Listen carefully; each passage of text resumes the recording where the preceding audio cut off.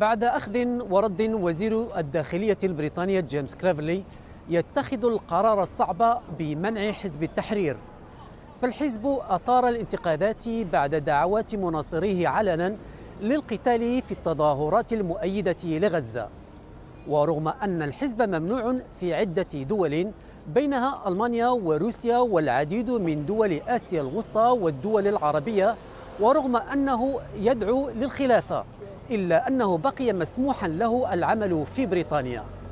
وكان محامون قد دافعوا سابقا عن الحزب أمام الحكومة معتبرين أنه لم ينتهك قوانين الإرهاب إذ حاول كل من رئيسي الحكومة السابقين توني بلير وديفيد كاميرون منع الحزب بسبب مواقفه من إسرائيل.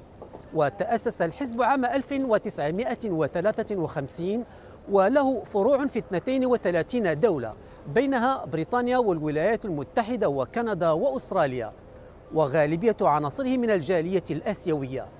وسبب المنع الراهن كما يؤكد كليفرلي ترويجه وتأييده لهجمة حماس. هذا فضلا عن اعتبار أن الحزب منظمة معادية للسامية.